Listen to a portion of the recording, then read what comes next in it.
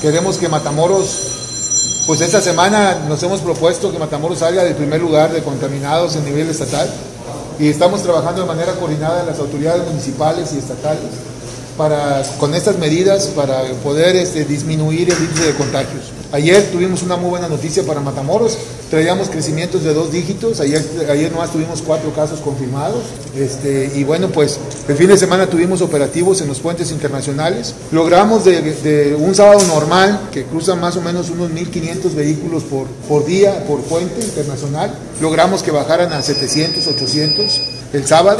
Y el domingo todavía tuvimos una disminución aún mayor, ¿verdad? Hubo un promedio de 400, 500 cruces internacionales. Regresamos el sábado como 150 vehículos y el, y el domingo regresamos como unos 80, 90 vehículos. El propósito es desalentar los cruces internacionales, disminuir la movilidad y bueno, de, de, de, de 1800 a, a 700, a 800, pues ya en cada puente que bajó, pues ya es un avance importante, ¿no? ¿Cada cuándo van a hacer esto, licenciado? Lo tenemos permanente. Ahorita estamos en los puentes, ahorita trabajando, está ahí los operativos eh, del gobierno municipal y el gobierno estatal, y el propósito, insisto, pues es que podamos disminuir el crecimiento del virus aquí en Matamoros, que podamos salir del primer lugar y, bueno, pues proteger la salud, la vida de los matamorenses principalmente.